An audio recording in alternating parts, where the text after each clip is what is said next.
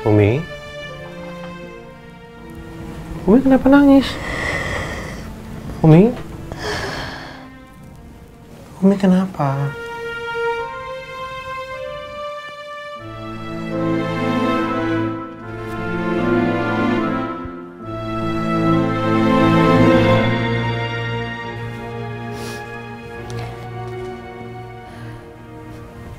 Abi, Abi kenapa tega bohong sama Umi?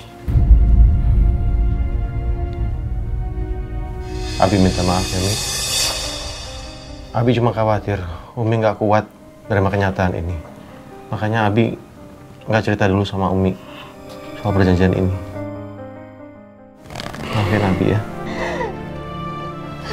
Abi.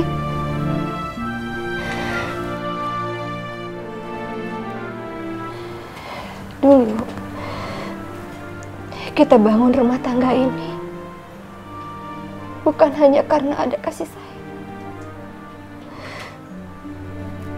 tapi juga ada kepercayaan di antara kita.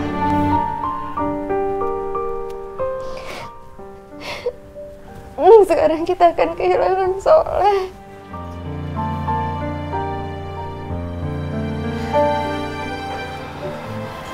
Apa yang Umi rasakan setelah membaca surat itu sama seperti apa yang Abi rasakan. Abi juga nggak mau kehilangan soal